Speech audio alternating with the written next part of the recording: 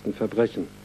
An Frankfurter Schulen wurden in den vergangenen Monaten mehrfach Parolen entdeckt, die den Sinn des Hakenkreuzes kräftig untermauern. Unsere Stunde wird kommen, war da zum Beispiel zu lesen, eine deutliche Sprache, die nicht nur das Werk von irgendwelchen Schmierfinken sein kann. Einige Ereignisse machen das deutlich.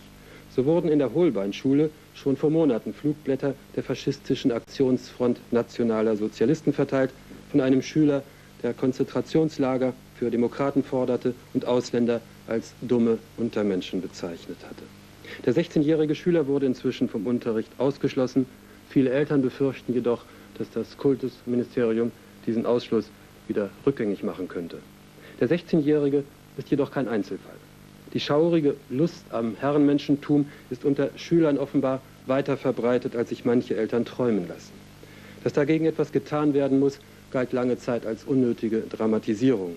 Dass nun dringend gehandelt werden muss, und zwar am besten sofort, ist seit einiger Zeit die Meinung von vielen, die Angst haben vor den Folgen der Herrenmenschenparolen. Was an vielen Frankfurter Schulen seit längerem geschieht, aber bisher vor der Öffentlichkeit immer schamhaft verschwiegen wurde, ist jetzt an der Holbein-Schule einmal energisch angepackt worden.